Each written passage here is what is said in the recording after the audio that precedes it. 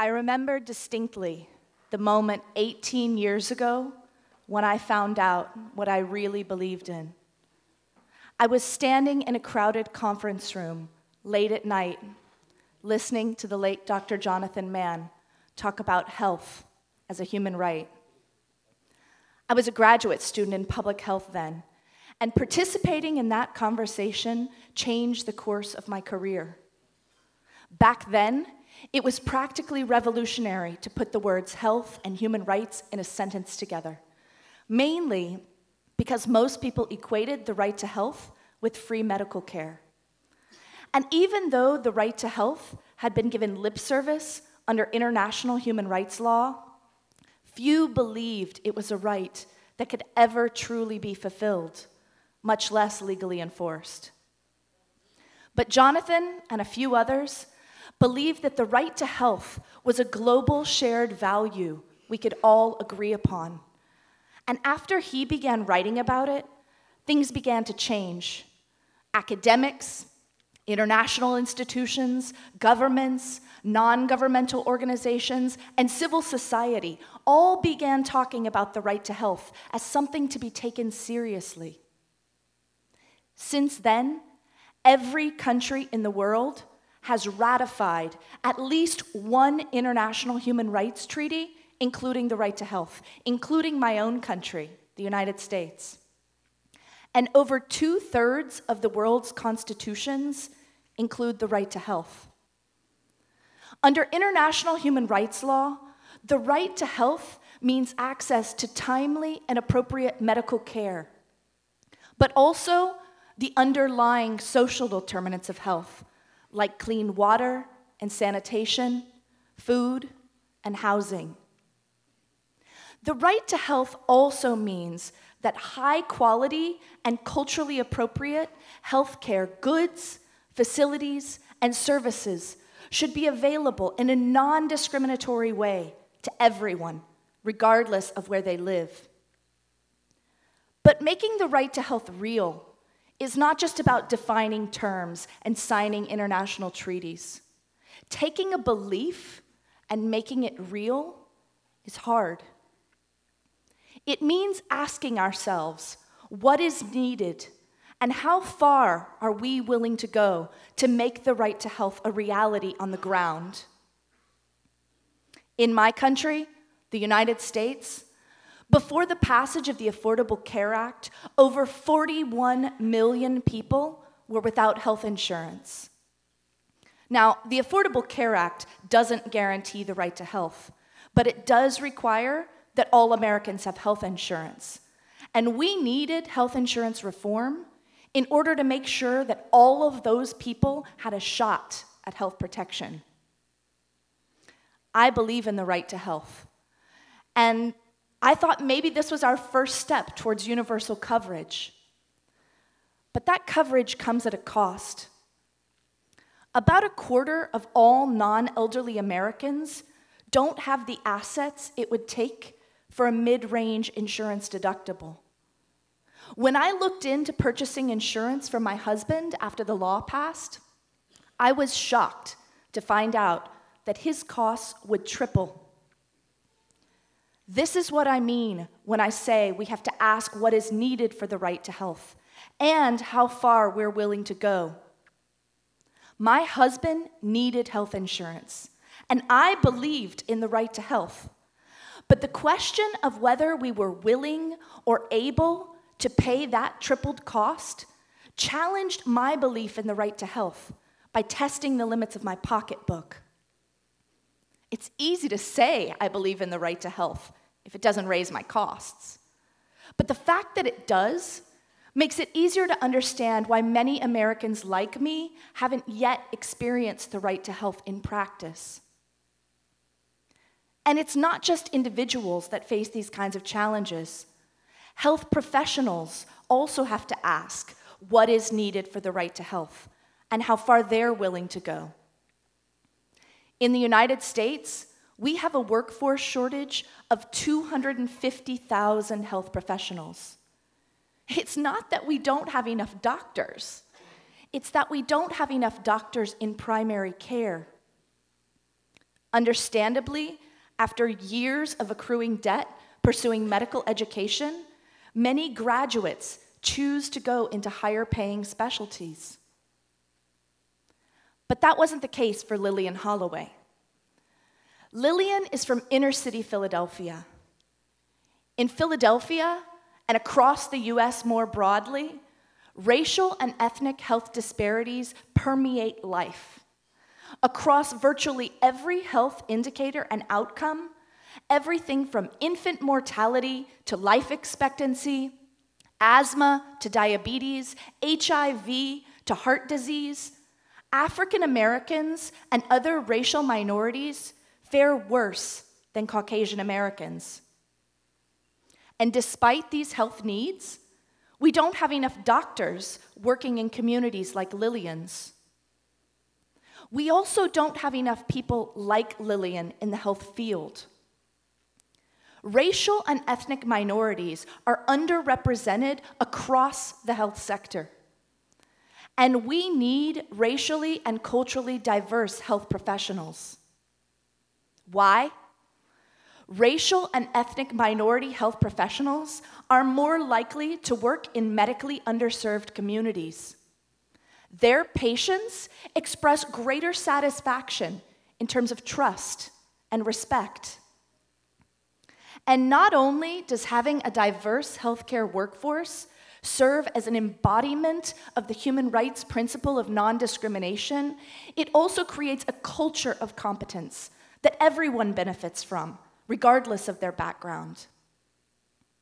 In Lillian's case, she knew she wanted to become a doctor, but she didn't see a viable way of doing that in the US because of the cost of medical education. Lillian also believed in the right to health, but she faced an economic hurdle in realizing her dream of becoming a doctor.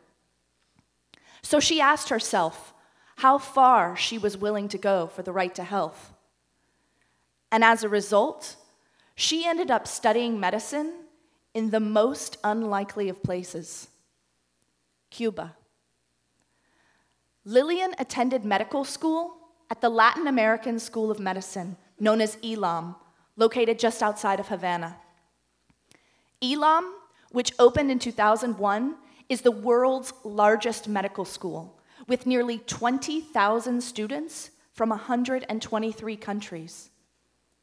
ELAM was designed with the express purpose of addressing the global health workforce shortage.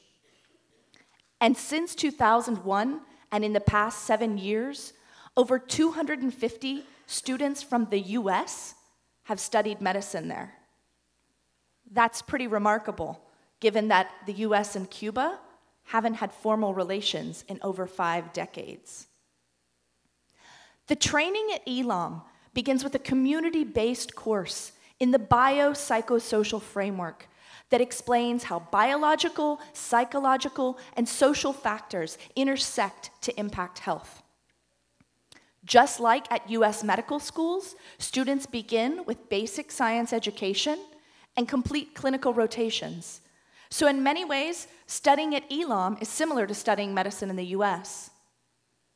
But there are also important differences. What Lillian learned at ELAM was not just how to practice medicine.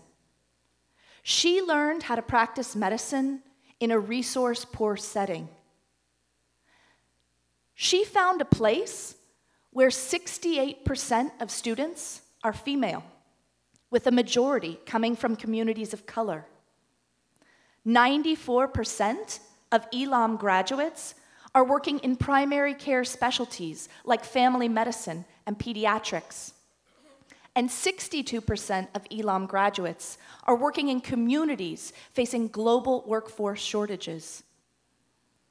After graduation, Lillian returned to the US, where she now works in Chicago at Cook County Hospital serving that city's underserved population.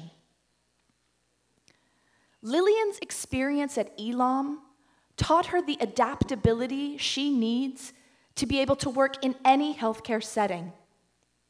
And her commitment to the right to health took her all the way to Cuba for the thing that she believes in. Now, some of you may be surprised to hear an American talking this way about Cuba. After all, the long standing discord between our two countries is well known. You may be even more surprised to hear me say, I think Cuba has something to teach us about how far countries may be willing to go for the right to health.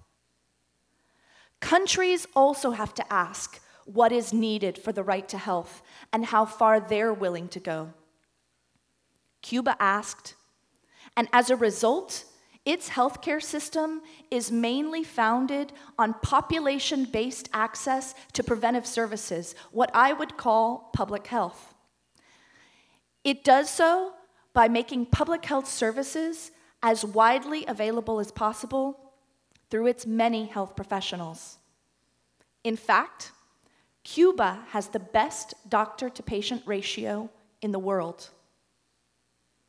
Human resources in the form of health professionals are a national strength. And Cuba hasn't limited its efforts to its own borders. Since 1960, over 100,000 Cuban health professionals have worked in 101 countries. Today, 50,000 Cuban health professionals are working in 65 countries, including 465 individuals working in the Ebola affected countries. That's what I mean when I say we need to ask how far we need to go for the right to health. Oftentimes, we lionize medical volunteers who work in humanitarian crises or other situations far from home.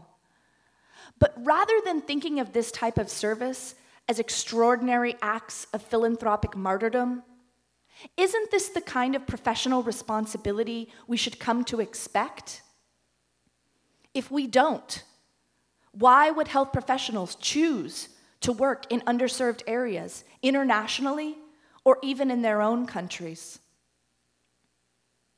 Critics would argue that Cuban health professionals don't have a choice despite the fact that international service is better remunerated than domestic service. Others would say Cuba sends its health professionals abroad as a form of national positioning. It may be. But isn't this the kind of diplomacy the world needs more of?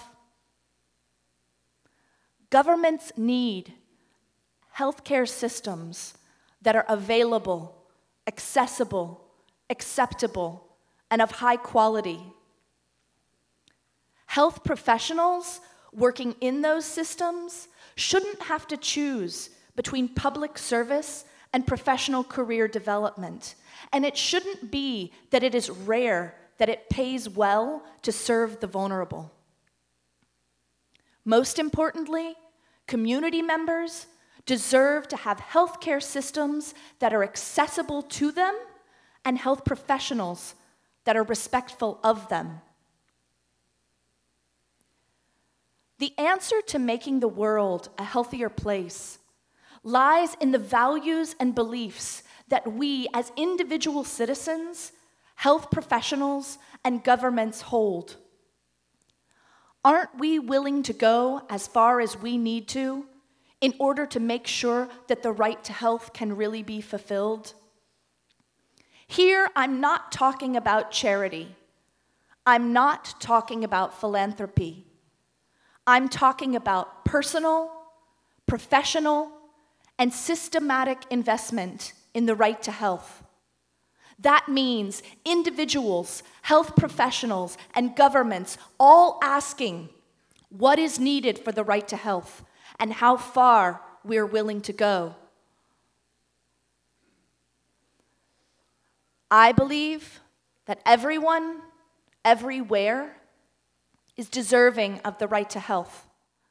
Whether they live in the city streets of Chicago, the mountains of Guantanamo, or the sertão of Brazil.